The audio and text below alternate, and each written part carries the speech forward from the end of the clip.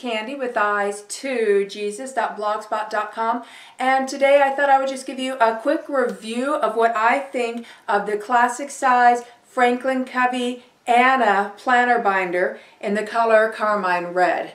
And red is my favorite color and this is my favorite shade of red.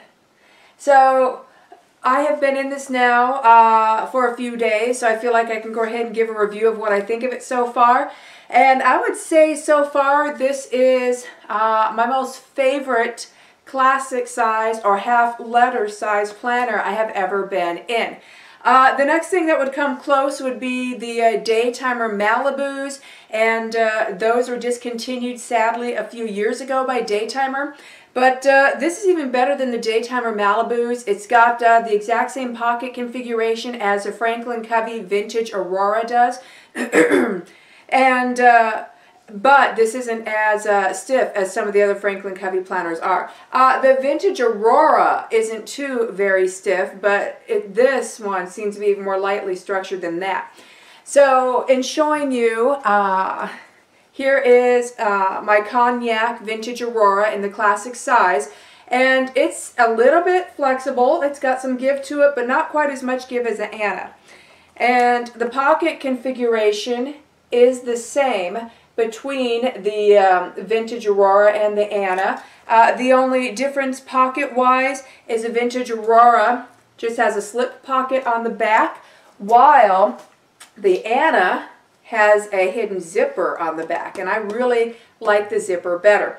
Now, another thing, though, with the uh, vintage Auroras is it was just that slip tab closure. I prefer a snapping closure. Uh, also, the vintage Auroras does have a little bit of a wide-ish footprint, so if you like uh, that type of pocket configuration, but you don't really like that wide of a footprint, well, then there was the Bella, uh, and I haven't seen the Bella back out in a long time. I don't know if it's ever coming back. And the Bella, there is no pocket on the back. And it is, again, a slip tab closure with a magnet inside, which the Aurora has as well. Uh, and then the pocket configuration is the same, except you only have one slip pocket in the back. But other than that, it's the same pocket configuration as the Vintage Aurora and as the Anna. Uh, you can see here in the Bella, though, uh, it's just white here on the sides. It's just white and that can stain. Mine actually already has a little bit of staining on it just from age and use. So when I do use the Bella, I usually stick in some scrapbook paper to cover the white up and that also makes it look prettier. And the uh, classic size Bella originally came with uh, inch and a half uh, oval rings. That's a little bit big for this footprint. If you do use the inch and a half oval rings, uh, your tabs are going to stick out and you're going to have trouble with the pen loops. You have to get creative. Uh, so I have round inch and a quarter rings in here. An inch, round inch and a quarter rings is perfect in the classic size Bella. Now, another thing it can be comparable to is the vintage collages by Franklin Covey. I love this vintage collages. It is just like the vintage Aurora, except instead of a slip tab closure, it's a faux buckle and snap. I love that. Uh, it also has the pocket on the back, but this stretches and pulls out, which the vintage Auroras don't have the stretch and pull out. If it did, that'd make the slip tab a bit more nicer. And again, exact same pocket configuration as the Anna and as the vintage collages uh, I mean, as the vintage Aurora. But this, the vintage collages, is very structured and it's got a somewhat wide footprint.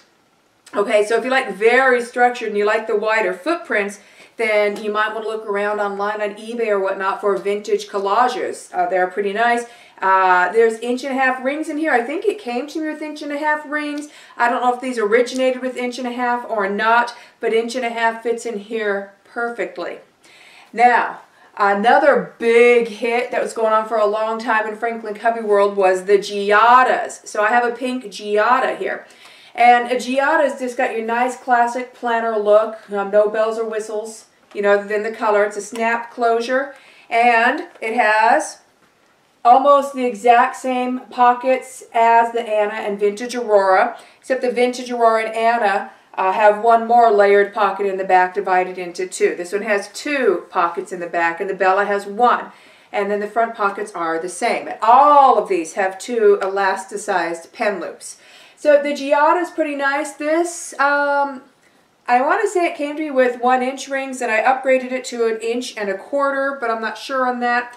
Uh, but the Giada is very nice, but it is quite structured and I am not in love with the leather of the Giada. And at least with mine, it just doesn't seem like it holds its uh, color very well. I kind of want to repaint my Giada, to be honest. So I like what I like about the Giada though was it has the about the same pockets as the vintage Aurora, which is fabulous on the pockets. And I like that it has a snap closure, no pocket on the back though, but it's really structured. See, and then what I liked about the vintage Aurora was that it wasn't as structured. It had the pocket in the back, but it was a bit wide of a footprint and that slip tab closure, even though there was a magnet to help it, it would still come undone quite easily. So what I like about the Anna is it's a bit less structured even than the vintage Aurora and I love it. It is moldable and it's a nice size footprint. It's not slightly too narrow like the Bella but it's not slightly too wide like the vintage collages. And this one in the classic size, so this takes half letter size paper, uh, it comes with inch and a quarter rings and I swapped them out for inch and a half rings and it fits fabulously and it makes the footprint slightly more narrow which makes the footprint perfect. This is a nice squishy planner. It smells heavenly, dreamy. This smelled great right out of the box. I didn't have to air it out at all. This is a brilliant color red, not that boring blah red that we seem to get on so many red planners. And uh, the zipper pocket in the back is great because I have uh, some documents and receipts back here and now I can zip them in so that they're not falling out because my planner goes with me everywhere and it can be churned and twisted in all sorts of different directions and rattled around in the car. I don't need things falling out of my planner. And it's just gorgeous. So you, here you can see the front pockets. It's the exact same pocket configuration as the uh, vintage Aurora and the Giada. And then in the back, exact same pocket configuration as the vintage Aurora and the vintage collages. And it is just working out fabulous for me. I have everything in here. I don't have to write too tiny because I have the classic size. And uh, I can honestly say this is currently my very, very, very favorite planner, especially in the uh, classic desk or half letter size.